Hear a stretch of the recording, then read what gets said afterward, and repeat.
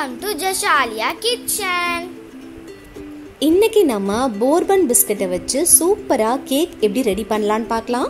அதுக்கு முன்னாடி எங்கள் சேனலை இன்னும் நீங்கள் சப்ஸ்கிரைப் பண்ணாமல் இருந்தீங்கன்னா சப்ஸ்கிரைப் பண்ணிடுங்க லைக் பண்ணுங்க ஷேர் பண்ணுங்க. மறக்காம பெல் பட்டனை கிளிக் பண்ணுங்க. போர்பன் பிஸ்கட் கேக் செய்கிறதுக்கு போர்பன் பிஸ்கட் இரநூத்தி நாற்பது கிராம் எடுத்திருக்கேன். இதை நான் ஒரு பவுலில் எடுத்து வச்சுருக்கேன். இதை நம்ம மிக்சியில் சேர்த்து கிரைண்ட் பண்ணி எடுத்துக்கலாம். அரைச்சி எடுத்தாச்சு பாருங்க. இது ஒரு பவுடர் மாதிரி இருக்குது. இதை நம்ம ஒரு பவுலுக்கு மாத்திரலாம். பவுலுக்கு மாத்தியாச்சு. இப்போ இது கூட பேக்கிங் சோடா சேர்த்துறான் கா டேபிள் ஸ்பூன் அளவு பேக்கிங் சோடா இதில் நான் சேர்த்துருக்கேன். இது கூட காய்ச்சி வச்ச பாலை கொஞ்சம் கொஞ்சமாக சேர்த்து மிக்ஸ் பண்ணி எடுத்துக்கலாம். ஒரு கப் அளவு பால் எடுத்திருக்கேன். இப்போ இதை நல்லா நம்ம மிக்ஸ் பண்ணி எடுத்துக்கலாம்.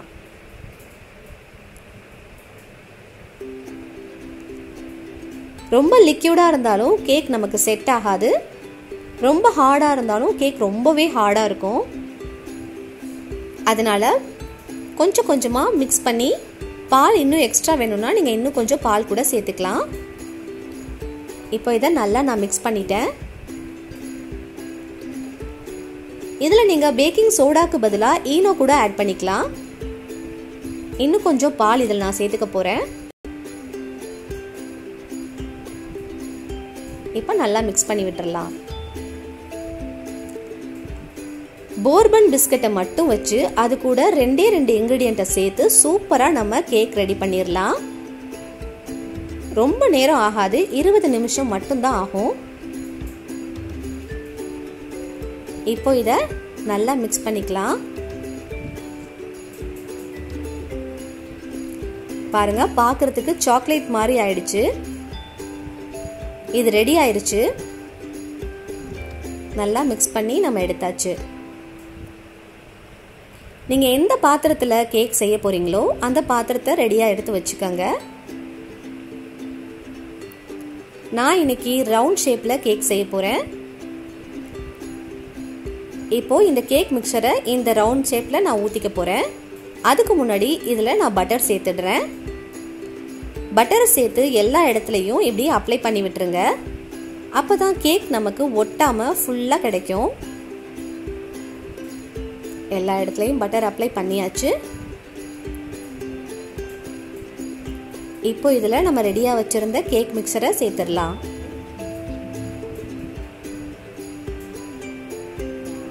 பார்க்கறதுக்கு ரொம்பவே அழகாக இருக்குது எல்லாத்தையும் இதில் சேர்த்துடலாம். சேர்த்தப்புறம் இப்படி தட்டி விட்டுருங்க. அப்போ தான் உங்களுக்கு ஈவனாக வரும் கேக்கு நான் இன்னைக்கு ரைஸ் குக்கரில் கேக் செய்ய போகிறேன் ரைஸ் குக்கரில் கீழே ஒரு ஸ்டாண்ட் வச்சுட்டு அது மேலே ஹோல் போட்ட மூடி ஒன்று வச்சுட்டு அது மேலே நான் கேக் இதை வைக்க போகிறேன் இப்போ இதை கவர் பண்ணிடலாம் கவர் பண்ணி இருபது டு இருபத்தஞ்சு நிமிஷம் வரை நம்ம வேக வச்சு எடுத்துக்கலாம்.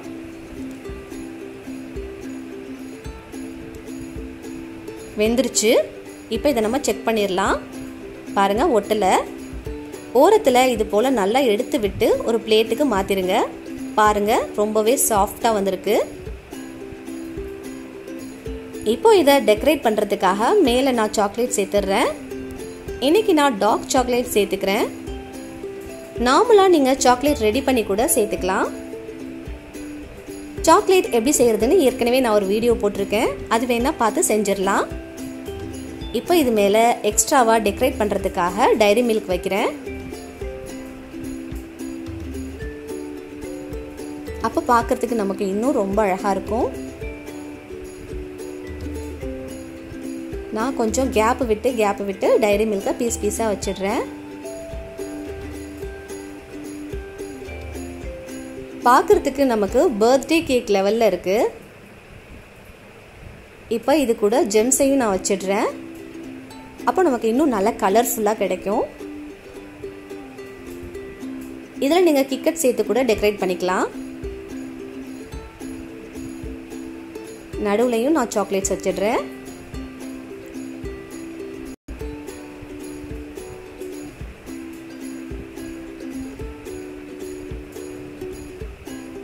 கீழேயும் கொஞ்சம் சாக்லேட்ஸ் வச்சிடலாம். கலர்ஃபுல்லாக இருக்குது பார்க்குறதுக்கு